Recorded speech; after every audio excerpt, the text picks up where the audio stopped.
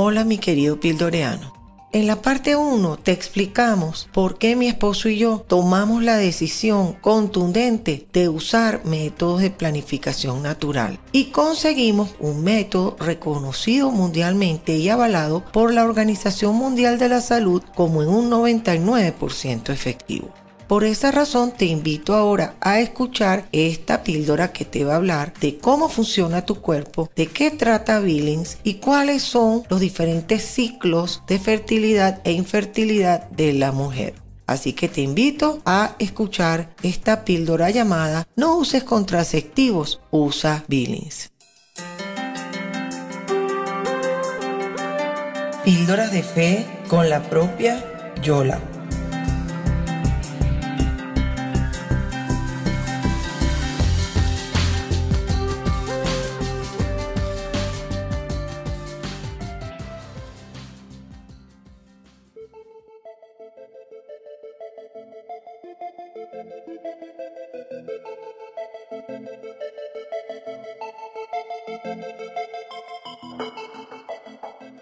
Veamos primero de dónde sale Billings. Billings viene del nombre de dos médicos católicos y esposos llamados John y Evelyn Billings.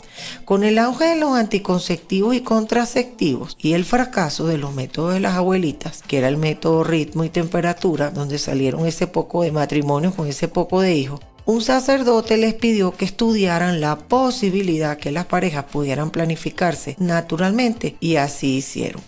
Uno de los problemas de los métodos que existían en ese momento, los métodos naturales, era, por ejemplo, que el ritmo predecía los días fértiles. Y ese era el gran problema. Si la mujer tenía un estrés, una situación difícil, ya el método fracasaba porque se le adelantaba o se le atrasaba la ovulación ellos descubren después de muchos años de estudio que la mujer unos días antes de la ovulación, aproximadamente 5 días, el cervix, que es el cuello del útero, empieza a segregar un moco cervical que se desprende hacia la vulva.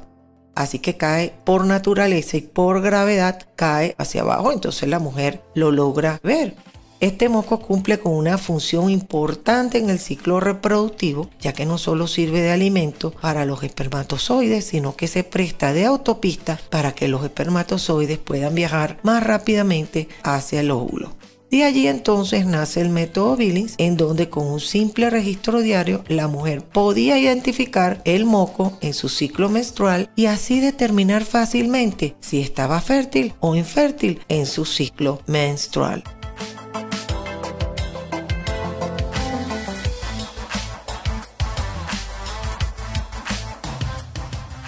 Ahora veamos cómo funciona el cuerpo de la mujer o cómo funciona nuestro ciclo reproductivo. Dios ha diseñado nuestro cuerpo para tener hijos. Claro está que todos los meses nuestro cuerpo se prepara para tener hijos, naturalmente, siempre y cuando no se tome ninguna pastilla.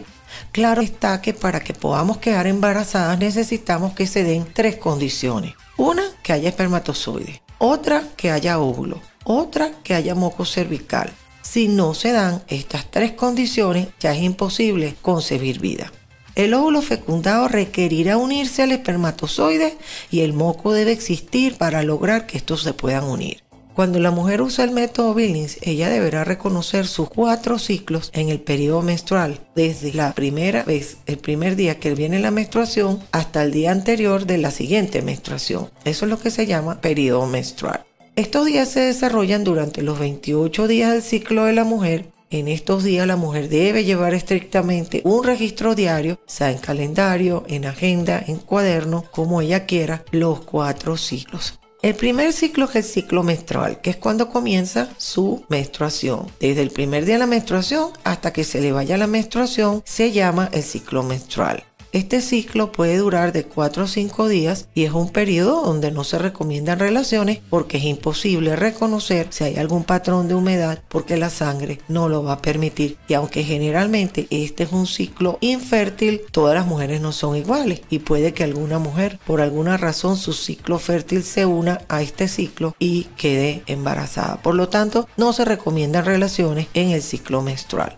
El segundo ciclo es un ciclo infértil, unos días que vienen después de la menstruación, en que hay una total ausencia del moco, el moco cervical está ausente y por lo tanto, si falta uno de los tres, que es el espermatozoide, el óvulo del moco, pues no hay riesgo de embarazo. Por tal razón, este es un ciclo infértil. Luego viene el ciclo fértil, que es el ciclo más peligroso para quedar embarazada. Unos días antes de la ovulación, la mujer detecta una sensación de humedad. No necesariamente tiene que ver moco, pero el solo hecho de sentir esa sensación de humedad es como estar sentada en una gelatina o como sentir una humedad que aunque nos la vemos, seguimos sintiendo esa humedad. Esa presencia de secreción cervical es la humedad que sentimos es una presencia de un moco transparente, filante que cambia en sus características y cantidad durante estos días. El periodo fértil de la mujer, pues la mujer se pone más hermosa estos días y el riesgo de embarazo es muy alto. Una mujer que no ovula porque está tomando contraceptivos, nunca jamás su esposo va a sentir la atracción hacia ella como siente cuando la mujer se cuida naturalmente, porque esta es una cuestión totalmente de naturaleza para lograr una reproducción. Así que las que toman contraceptivos muchas veces atraen menos a los hombres que las que no los toman. El riesgo de embarazo es muy alto, aunque la mujer ovula 5 a 6 días después del primer día de fertilidad, igual no se pueden asumir los riesgos porque las espermatozoides viven 72 horas y como no sabemos cuándo vamos a ovular, se deben evitar las relaciones si no se quieren tener hijos. El ciclo infértil se detecta apenas desaparece la presencia del moco, ese es el cuarto ciclo. Una vez que sucede la ovulación, hay entre 11 a 16 días en que la mujer no percibe ninguna sensación y es infértil hasta que la mujer vuelva a tener la menstruación, en los que el riesgo de embarazo es muy bajo. Así que como ves, los que están pendientes de cuántos días de abstinencia van a tener no llega ni a 8 días en el mes.